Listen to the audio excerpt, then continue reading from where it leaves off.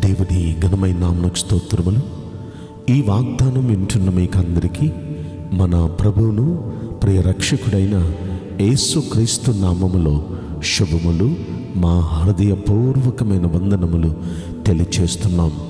ఈరోజు దేవుని వాగ్దానం నిర్గమాకాండం ముప్పై నాలుగవ అధ్యాయము పదవ వచనం. ఇదిగో నేను ఒక నిబంధన చేయుచున్నాను.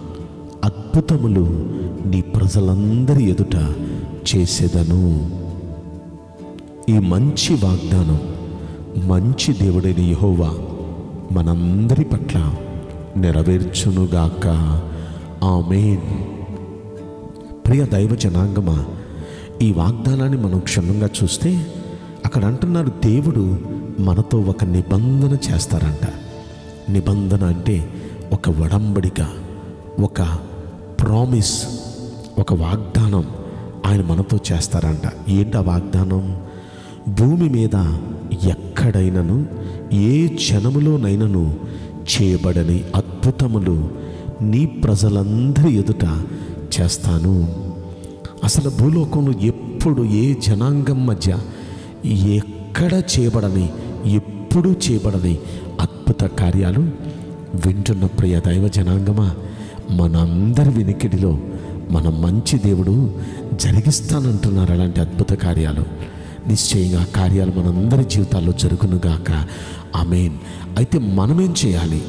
అక్కడ ఇజ్రాయేలీలకి ప్రభు చెప్తున్న ఆ తీర్మానాలు. ఒక ఏడు మనం విందాం. ఏం చేస్తే దేవుడు అద్భుత కార్యాలు చేస్తానన్నారు? ఆ ఏడు ఒక్కసారి మనం చూద్దామండి. పదకొండవ వచ్చంలో చూస్తే నేడు నేను నీకు ఆజ్ఞాపించు దాన్ని అనుసరించి నడుము. అంటే మొట్టమొదటి మనం చేయాల్సింది ఆయన ఆజ్ఞాపించిన ఆజ్ఞలను అనుసరించి నడుచుకోవాలి. ఆయన వాక్యాన్ని అనుసరించి నడుచుకోవాలి. ఇది మనం చేయాల్సిన మొదటి మాట. రెండవది ఎక్కడికైనా వెళ్ళినా ఆ దేశపు నివాసులతో నిబంధన చేసుకోకుండా జాగ్రత్త పడు. ఎక్కడికైనా వెళ్ళండి కానీ ఆ దేశ ప్రజలతో ప్రమాణాలు వాగ్దానాలు నిబంధనలు చేసుకోవద్దు.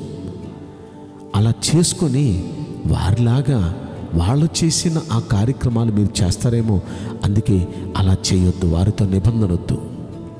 ఇక మనం చేయాల్సిన మూడో మాట పదమూడో వచ్చులు అంటారు వారి బలిపీఠాన్ని పడగొట్టి వారి బొమ్మలను పగలగొట్టి వారి దేవతా స్తంభములను పడగొట్టవలెను అని. అంటే దాని అర్థం ఏంటంటే వాళ్ళు చేస్తున్న చేష్టలు లాంటి చేష్టలు మనం చేయకూడదు. వాళ్ళకున్న ఆ ఆచారాలు ఆ పద్ధతులు మనం పాటించకూడదు.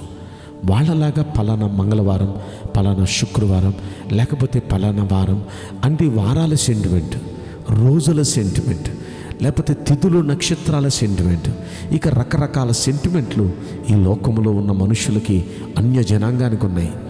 అలాంటి వాళ్ళతో మనం సహవాసం చేస్తే ఆటోమేటిక్గా ఆరు నెలలు సహవాసం చేస్తే వారు వీరు వీరు వారు అయిపోతారని ఎన్నో మాటలు ఎన్నోసార్లు మనం విన్నాం కదా. అనేక సార్లు వాళ్ళు మనలాగా ఎవరు కానీ మనమే వాళ్ళలాగా అయిపోతాం ఆ సహవాసం వల్ల. ఎలా అంటే ఆ క్రియలే మనం చేస్తూ ఉంటాం. కనుక అలాంటి క్రియలు చేయొద్దు. అలాంటి క్రియలు చేయకుండా జాగ్రత్త పడండి అనే మాట అక్కడ చెప్తున్నారండి. ఇంకా మనం ఎలా ఉండాలి? పదిహేను వచ్చులు అంటారు. దేవతలకు బలి అర్పించుచున్నప్పుడు ఒకడు నిన్ను పిలిచిన ఎడల నీవు వాని బలిద్రవ్యమును తినకుండా చూసుకొనుము. అంటే దీని అర్థం వాళ్ళు మనకి వెళ్ళినప్పుడు ఈ ప్రసాదాలు పెడతారు కదా. లేకపోతే అంత మాత్రమే కాదు ఆ వాళ్ళు చేసిన విగ్రహారాధన పూర్వకమైనది. అక్కడ తర్వాత వారు భోజనాలు సంథింగ్ ఏదో పెడతారు కదా. అది మనం తినకుండా జాగ్రత్త పడాలి. అలా తినకుండా జాగ్రత్త పడితే దేవుడు అంటున్నాడు భూమి మీద ఏ జనములోనైనా ఎప్పుడైనా చేయబడని అద్భుత కార్యాలు నీ జనులందరి ఎదుట నేను చేస్తాను నీతో నిబంధన చేస్తానని అంటున్నారు. అంటే మనం ఎలా ఉంటే ఆయన మనతో నిబంధన చేస్తారో మనం విన్నాం. ఇంకా చెప్తాను చూడండి. ఇక కాస్త కిందకు మనం వస్తే పదహారు రోజులు అంటాడు నీవు నీ కుమారుల కొరకు వారి కుమార్తెలను పుచ్చుకొనకూడదు. అంటే దాని అర్థం అన్యులతో మనం సహవాసం పెట్టుకోకూడదు. మన పిల్లలకి వాళ్ళ పిల్లల్ని ఇవ్వకూడదు. వాళ్ళ పిల్లలతో మన పిల్లల్ని మనం తీసుకోకూడదు. అంటే అలా వారితో బియ్యం అందకూడదు. వారితో పెళ్ళిళ్ళకి దూరంగా ఉండాలి అనే మాట అక్కడ చెప్తున్నాడు. ఇంకా మనం ఏం చేయాలి అంటే పద్దెనిమిదో వచ్చులు అంటాడు పొంగని వాటిని పండుగగా ఆచరించాలి. అది కూడా ఎన్ని దినాలు? ఏడు దినాలు అంటున్నాడు. ఏడు దినాలు పొంగని వాటినే తినాలి. దీనిలో ఉన్న అంతరార్థం ఏంటంటే ఏడు అనే మాట సంపూర్ణ సంఖ్య. అంటే మనం కంప్లీట్గా ఇక పొంగని వాటినే తినాలి ఈ పండుగ ఆచరించాలి. దీని అంతరార్థం ఏంటంటే ఇక మనం పులిసినదనేది ముట్టుకోవద్దు. పులిసినదంటే పాత స్వభావం పాత మాట తీరు పాత పద్ధతులు పాతవన్నీ మనం విడిచిపెట్టి కొత్తగా కంప్లీట్గా మనం మారిపోవాలి. దాని అంతరార్థం అదండి. ఇంకా కాస్త మనం కిందకి వెళితే కాస్త కిందకి వెళితే ఆ కింద అంటాడు ఆరు దినములు నీవు పని చేయాలి. ఏడవ దినం విశ్రమించాలి. ఆ దినం పరిశుద్ధ దినం దేవుణ్ణి ఆరాధించాలి.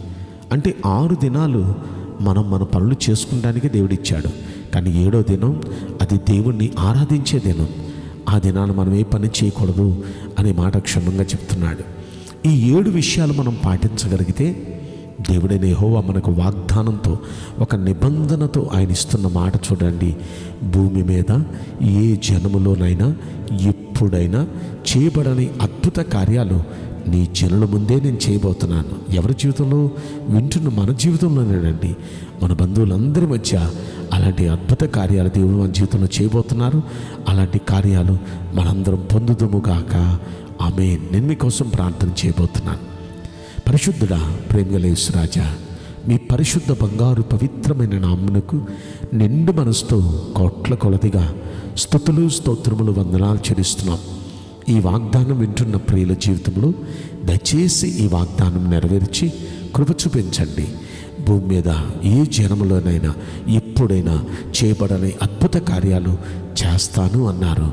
దయచేసి మీరు జరిగించి మీ నామానికి మహిమ మీ బిడలకు కృపను అనుగ్రహించమని ఈ కొద్ది మనవులు నజరుడని యేసు క్రీస్తు ప్రశస్తమైన నామములో మిక్కిలి వినయముతో ప్రార్థించి బ్రతిమలాడి వేడుకుంటున్నాం. ప్రియ పరలోకపు తండ్రి amen. May God bless you all thank you